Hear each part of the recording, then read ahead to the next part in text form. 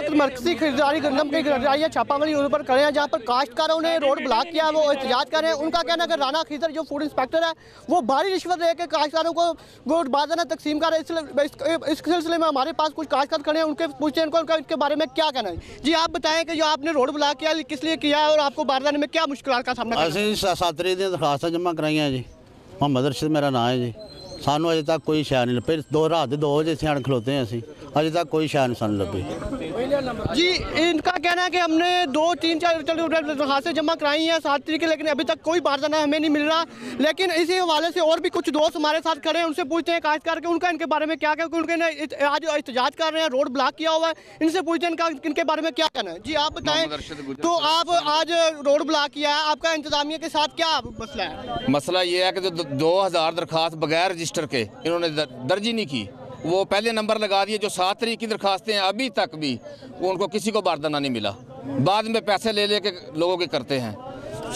کانوں گوئی کانوں گوئی بحالی کے بہت چھوٹی ہے اور خانگاہ ڈوگر کانوں گوئی بہت بڑی ہے۔ نہیں پیسے کون لے رہا ہے؟ پیسے وہ ظفر صاحب۔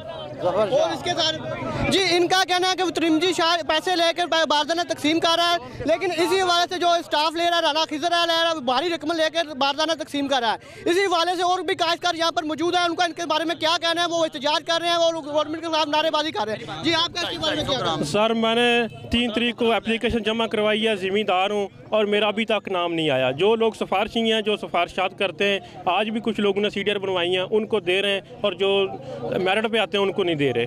ہم غریب زمیندار ہیں، ہمارے ابھی تک نام نہیں آیا۔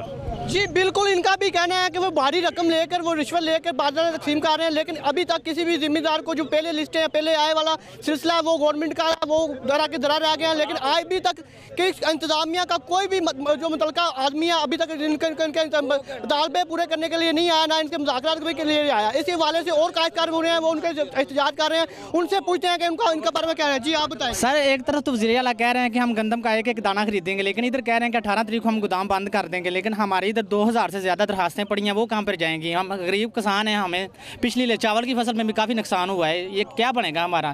اس لیے تو ہم مر جائیں وہ بہتر ہے۔ جی بالکل، ان کاشتکاروں کا کہنا ہے کہ ذمہ دار کے پاس جو گورنمنٹ کا کہنا ہے کہ میاں شباز شریف کا ہم دانہ دانہ خریدیں گے، لیکن کوئی بھی کاشتکار ابھی ابھی ان کی سہولتوں سے مؤثر نہیں ہو رہا۔ کاشتکار زیادہ سال احتجاج کر ہی جا رہے ہیں اور روڈ بلاک کیا، انہوں نے ٹائر جلائے ہوئے ہیں۔ لیکن ان کا وزیر اعلیٰ پنجاب سے مطالبہ ہے کہ متعلقہ جو افسران ہیں رانا خیزر اور متلقی شاہ، ان کے خلاف قانونی کاروائی کی ہے اور ان کے بھاری رقم لے کے جو رشوت لی گئی ہے ان کے ساتھ واپس لیا جائے ان کو جیل میں ڈالا جائے۔ جی۔